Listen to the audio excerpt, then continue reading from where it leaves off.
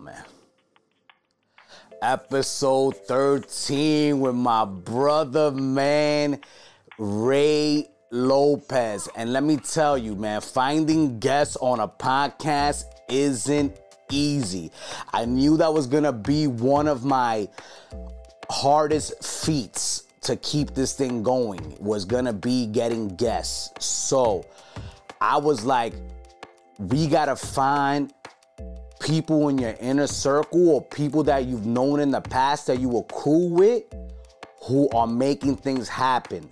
And my boy Ray, I could have done a three hour podcast with Ray because he is knowledgeable on a lot of different things and he is such an adventurous person that he is so entertaining to talk to and he's so eloquent and articulate in such a rough around the edges way that it is hilarious.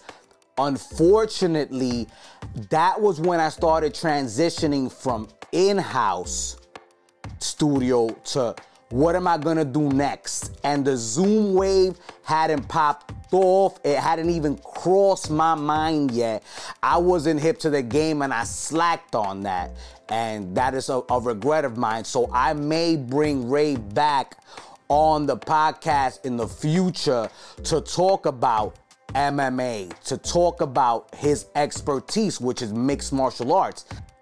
Mixed martial arts is so prevalent in American society today, and to have Ray Lopez, someone I knew from back in the days and I have broken bread with, open and be a founder of his own mixed martial arts academy after knowing him for being a graphic designer. And I knew he wrestled in high school and he always had an inkling to go back and do something.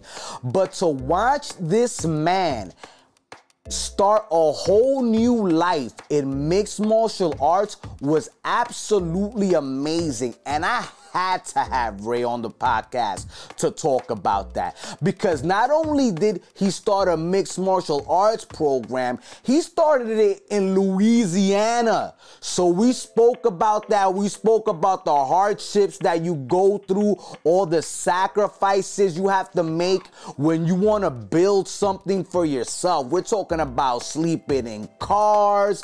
We're talking about doing everything possible, asking for help. And a lot of people don't realize it. You more than likely to be an entrepreneur, to own something of your own, you're gonna need people's help. You're gonna need to build trust with people. You're gonna need to build relationships and not fuck them up. To be completely honest with you. Because sometimes not all people have the, all the resources they need and all the the uh, education or knowledge about whatever there is they're trying to get into 100%. They don't have that in, they don't have that at their disposal all the time. So to watch this man go from a dream to reality, I had to get him on the show for sure. Yes, Gender equality was an important factor in that podcast. It's something that I wanted to bring up because it's important for for us as a society to understand each other.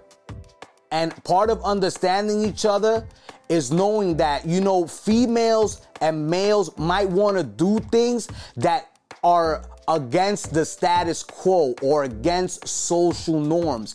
And I'm glad that I had to that I got a chance to talk about Ray, to talk to Ray about how important gender equality is in his gym and it's great to hear him say that yo, he busts the girls asses and puts a lot of puts an onus on them to strive hard just as just as hard as he does the men. So, you know, if you're into mixed martial arts, if you want to go to a place and you're in the south, a place that's gonna be a, a, a family atmosphere, like Ray mentions on the podcast, in depth, go to NOLA MMA, go to that podcast. If you're into to, to combat sports, if you're into um uh, mixed martial arts, you will learn a lot. You will learn what it takes to be a mixed martial artist because not everybody has that skill.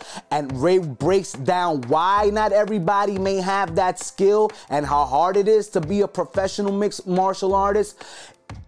Also, he gives you like a glimpse into the world of NOLA MMA. And I'm glad that I got Ray on. It was a phone interview with a little bit of video on my side. I am looking forward to maybe getting Ray back on the podcast so you can see his energy and you can see how how spry and how uh, uh, amazing of a of just a communicator he is. So hopefully down the line I'll get Ray back on, but don't miss that episode on mixed martial arts, man. You're going to love